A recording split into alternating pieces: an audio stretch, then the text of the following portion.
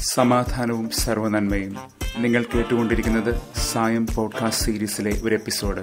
ഞാൻ കപ്പുച്ചൻ സന്യാസ വൈദികനായ ജയന്ത് മേരി ചെറിയാൻ. ക്രിസ്ത്യതയുടെ ദേവാലയാനുഭവം എന്നത് ഒരു തീർത്ഥാടക ജനതയുടെ ആരാധനാ കൂട്ടായ്മ എന്ന നിലയ്ക്കാണ് a community of worshippers a community of pilgrims of hope സഭയുടെ തീർത്ഥാടക ഭാവം അന്യം നിന്നു പോകുമ്പോൾ അതിനോടൊപ്പം തന്നെ ആളൊഴുക്ക് കുറയുന്നുവെന്ന് മാത്രമല്ല ജീവനീരൊഴുക്ക് തന്നെയാണ് കുറഞ്ഞു പോകുന്നത്. പലർക്കും സഭയിൽ സ്ഥാനമില്ലാതെ വരുമ്പോൾ ഒടുവിൽ സഭ തന്നെ അസ്ഥാനത്തും അപകടത്തിലുമായി പോകുന്നു. കാരണം എല്ലാവരെയും ചേർത്ത് നിർത്തുന്ന ദൈവിക ഭാവം അവൾക്ക് അനുഭവിക്കാനും അനുകരിക്കാനും ആകുന്നില്ല തന്നെ. സഭയുടെ സിനഡാത്മകതയെ അതായത് ഒരുമിച്ച് നടത്തത്തെ ആ ബോധ്യത്തെ ഈ ദിവസങ്ങളിൽ സഭ ആകമാനം ധ്യാനിക്കുമ്പോൾ അതൊരു തിരിച്ചറിവിലൂന്നിയ തിരിച്ചുവരവ് കൂടിയാണ് സാധ്യമാക്കുന്നത്.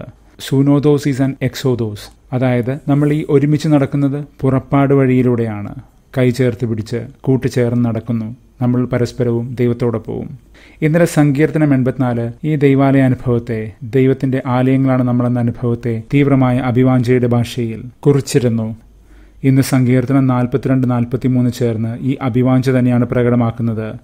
നീർച്ചാൽ തേടുന്ന മാൻപേടയെ പോലെ ദൈവത്തിനായി ദൈവസാമീപ്യത്തിനായി ദാഹിക്കുന്ന ആത്മാവ്.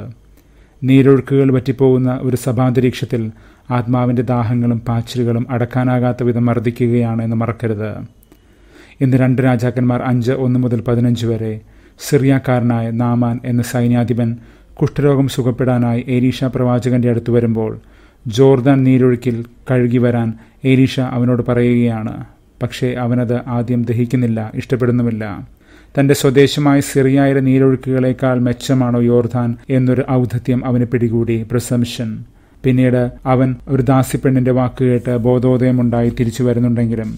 തികച്ച നിസ്സാരമെന്നും സാധാരണവുമെന്ന് കരുതുന്ന കാര്യങ്ങളിലാണ് ദൈവസ്പർശം നമ്മെ തൊടുന്നതെന്ന് മനസ്സിലാക്കാൻ അവന്റെ ലോകാധികായത അവനെ അനുവദിച്ചില്ല. ഈ ഔദ്ധത്യം സർവം തികഞ്ഞിരിക്കുന്നുവെന്ന ഭാവം പ്രിസംഷൻ യഥാർത്ഥത്തിൽ പ്രത്യാശയുടെ വിപരീതമായ ഒരു തിന്മ തന്നെയാണ്.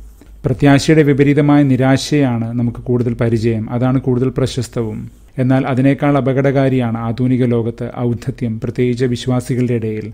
അതുകൊണ്ടാണല്ലോ ഇന്നലെ സുവിശേഷം പറഞ്ഞു വെച്ചത് ജനം നാഥനിൽ വിശ്വസിച്ചെങ്കിലും നാഥൻ ജനങ്ങളിൽ വിശ്വസിച്ചില്ല എന്ന്. കാരണം അവരുടെ ഹൃദയത്തിന്റെ ഉള്ളിൽ എന്താണെന്ന് നാഥൻ കൃത്യമായി അറിഞ്ഞിരുന്നുവെന്ന്. ഇന്നാകട്ടെ നാഥൻ സ്വദേശത്ത് അവഗണിക്കപ്പെടുകയാണ്. ലൂക്ക നാല്. അവന്റെ സ്വന്തം നാട്ടുകാർ അവനെ വധിക്കാൻ ഒരുങ്ങുകയും ചെയ്യുന്നു. അവർ തീർപ്പുകൾ നടത്തിക്കഴിഞ്ഞു പ്രസ്യൂംഡ് ഈശോ വെറും ആ തച്ചന്റെ മകൻ മാത്രമാണ് എന്ന്. അത് തികഞ്ഞ ഔദ്ധത്യമാണ്. പരിശുദ്ധാത്മാവിന്റെ സ്വാതന്ത്ര്യത്തെയും നവീനതകളെയും കുറിച്ച് യാതൊരു ബോധവുമില്ലാതെ അതിലേക്ക് ഹൃദയമടച്ചു കളയുന്ന ഭാവമാണത്. മരവിച്ച് കല്ലിച്ചുപോയ മാമൂൽ പ്രിയങ്ങളുടെ ദേവാലയ ഭാവം നാഥൻ ഇന്ന് ആ ജനത്തോട് സിറിയാക്കാരനായ നാമാന്റെ ജീവിതപാഠം തന്നെയാണ് തുറന്നു വയ്ക്കുന്നത് ദൈവമൊരുക്കിയ നീരൊഴുക്കുകളെ പുൽകുവാൻ നീരൊഴുക്കായി മാറുവാൻ.